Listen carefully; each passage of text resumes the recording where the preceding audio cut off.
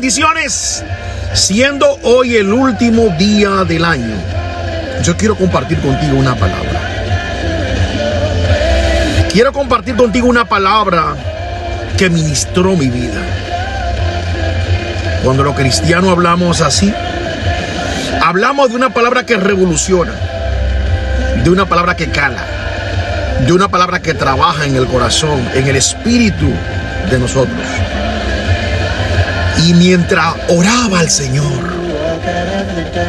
una palabra fulminante escrita hace más de dos mil años, sin embargo una palabra que vino como si fuera tan fresca.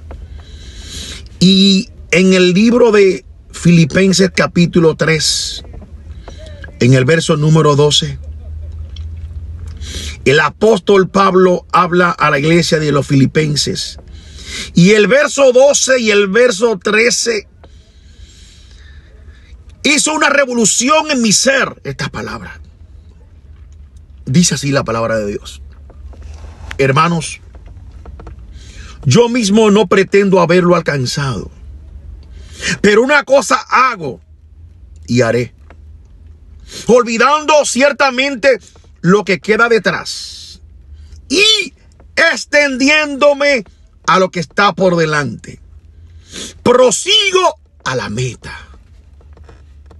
Prosigo a la meta. Yo quiero decirte en esta mañana que lo peor ya pasó. No importa si tus planes, si tus proyectos, no importa si en lo que tú habías cifrado toda tu esperanza, no lo viste cristalizar en este año que culmina. No importa. Dios te dice en esta mañana, olvida el pasado. Olvida lo que te desagradó. Olvida lo que te quitó el gozo, lo que te quitó la paz. Olvida las pérdidas que hayas tenido en este año. Dios te dice, hijo mío, extiéndete hacia lo que queda por delante. Dios te dice, todavía no he acabado contigo. No importa el fracaso. No importa que hayan derribado tu fe. No importa que esté en el suelo. Yo te levanto. Yo te fortalezco. Yo te reivindico. Yo te hago nuevo todas las cosas. Dios te dice, ciertamente olvida todo lo que queda atrás. Yo haré todas las cosas nuevas, te dice el Señor. Deja que trabajen en tu vida. Dame tus planes. Dame tu proyecto. Dame tus inquietudes. Dame tu sueño. Dame todo lo que que yo lo haré realidad en, en mi mano. No importa.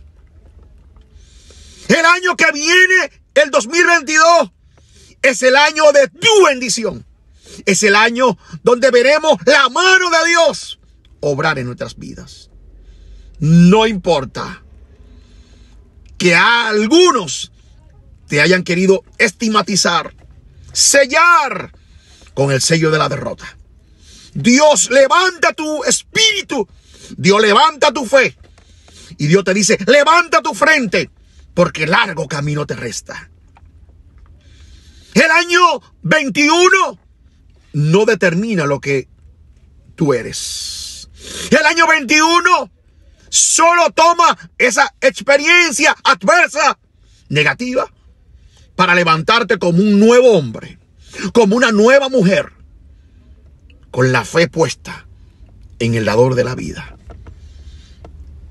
Una cosa hago, dice el apóstol Pablo, dejando todo lo que queda atrás, todo, y extendiéndome hacia lo que está por delante. Dios hará cosas grandes en tu vida, pero créele a Dios. Enfócate en Dios puesto los ojos en Jesús, el autor y consumador de la fe nuestra. Dios revoluciona tu vida Él simplemente te dice, Julio, amigo, hermano, tu trabajo es creer. Tu trabajo es creer. Dios tiene cosas grandes para ti. Dios tiene cosas grandes para mí. Yo lo creo. Así que sonríe a la vida. Dios está contigo. Y si Dios es con nosotros, ¿quién contra nosotros? Si Dios es con nosotros, ¿quién contra nosotros? Bendiciones. Dios está contigo. No lo dudes. No lo dudes. Dios está contigo. Dios está conmigo. Shalom.